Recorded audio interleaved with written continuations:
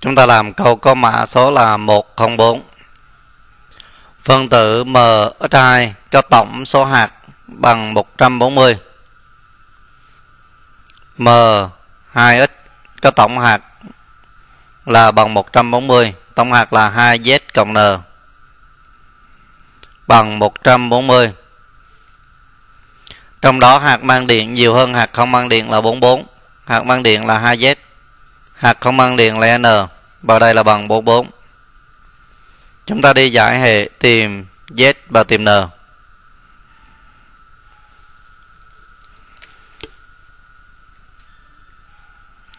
hai, một một, bốn, không hai, trừ một, bốn bốn Z ở đây mình tính được là bằng 46 và N ở đây là bằng 48 rồi, để tìm công thức thì chúng ta cần giải mã ZM bằng bao nhiêu ZX bằng bao nhiêu. Do đó, dựa vào cái biểu thức này, chúng ta sẽ rút ra Z Z bây giờ, tức là Z của M 2X chúng ta sẽ có là 2ZM cộng cho ZX và ở đây là bằng 46 đây là biểu thức thứ nhất. Chúng ta sẽ dựng một biểu thức nữa. Chứa zm và zx khi đó chúng ta đi giải hệ, tìm zm và zx là xong.